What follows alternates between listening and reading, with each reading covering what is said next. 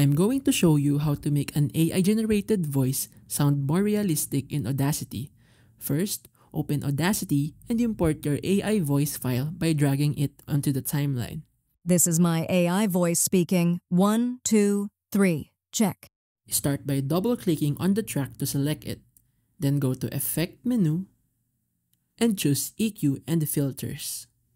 From there, select Filter Curve EQ and under the factory presets, apply bass boost to give the voice a fuller tone.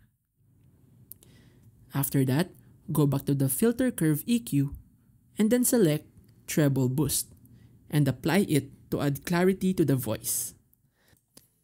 Next, return to filter curve EQ once more and choose low roll off for speech. Then click apply. This helps remove any unwanted low frequency noise. Now, go to effect again and select compressor to even out the voice volume.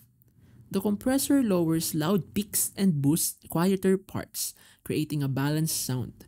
After that, apply a limiter to prevent any clipping, which can help avoid distortion in the louder sections. Play back the track to hear the improvements.